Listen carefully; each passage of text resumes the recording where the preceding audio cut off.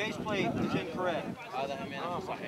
Soldiers from 2nd Brigade Combat Team, 4th Infantry Division, recently completed a six-week mortar training class with the Iraqi Army.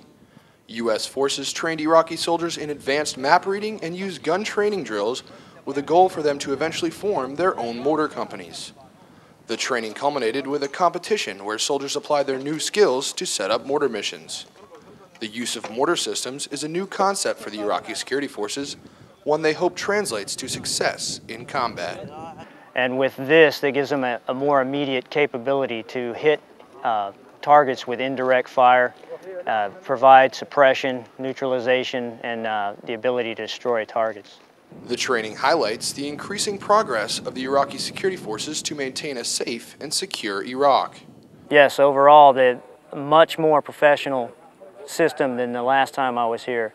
Last time I worked with the National Police and not the Army so much, but these, these soldiers have really impressed me. There's some very good uh, non-commissioned officers and officers that are starting to show uh, the ability to take the lead away from coalition forces.